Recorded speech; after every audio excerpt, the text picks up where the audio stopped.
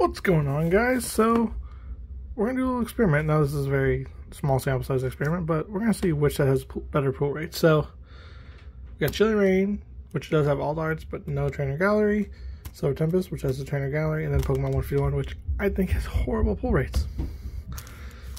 So without any further ado, let's get going. Now,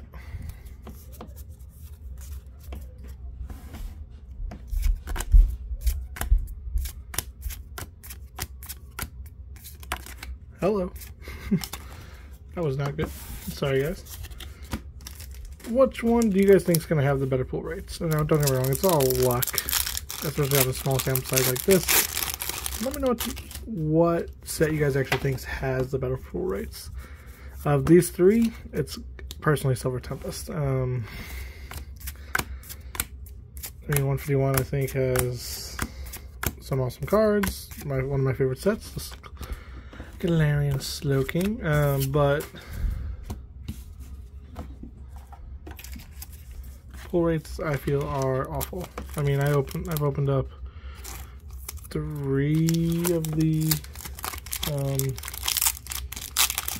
collection boxes, and I think each time I've gotten two to three pulls out of 17 packs. That's horrible. The fact I've done at minimum two, and I'm pretty sure three leads me to believe that it's pretty consistent. It'd be, I think, leaning the other way if you get something better. The Celebi EV. So, that's how I feel. Like once again, Pokemon 151, one of my favorite sets. But, pull rates just aren't there something I think they really dropped the ball on because I think if the pull rate's there, yeah, some of those cards might have a little less value. I'm not saying you have to completely make amazing pull rates, but I think you could have gotten something there. So, but that's my personal opinion.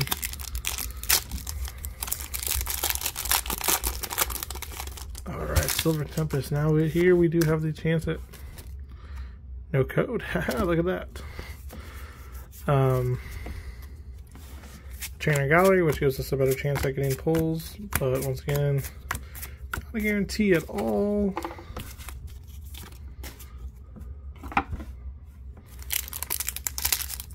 These are just four random packs I had laying around. They weren't even out of booster boxes. These were all out of either collection boxes or tins. Just loose. So, we'll see. Ooh, that's a nice card.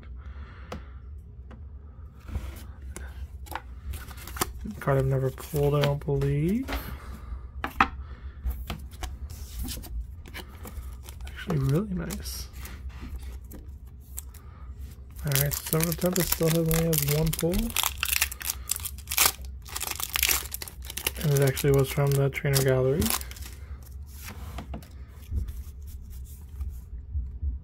Card. That's borderline miscut.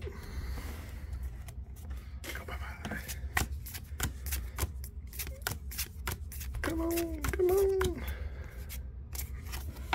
Just a holo. And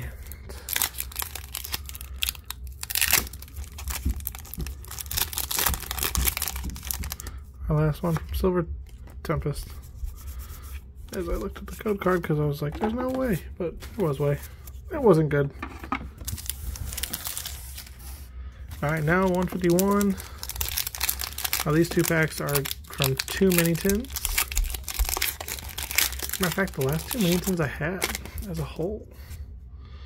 So, Caterpie, Magnemites. I actually do think 151 has a slight chance at winning, just because there were so little pulls, but I mean, hey, if we can pull out Charizard, Blastoise, or even the Venusaur, I've already got the Venusaur, but I would love the Blastoise. Obviously the Charizard, the most valuable card in the set.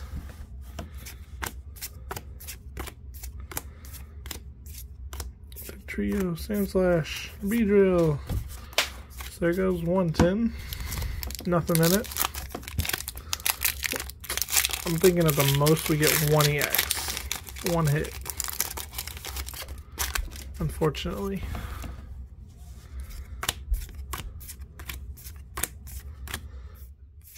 Oh my gosh.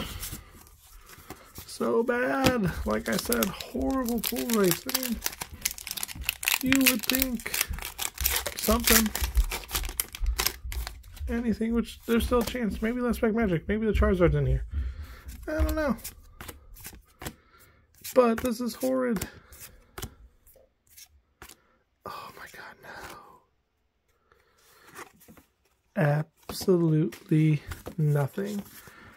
I mean, I feel like that kind of confirms what we kind of already knew is there's nothing in these. I mean, look at that. That's horrible. So, sometimes actually got second. Chilling Reign got first. And Pokemon 151 got last.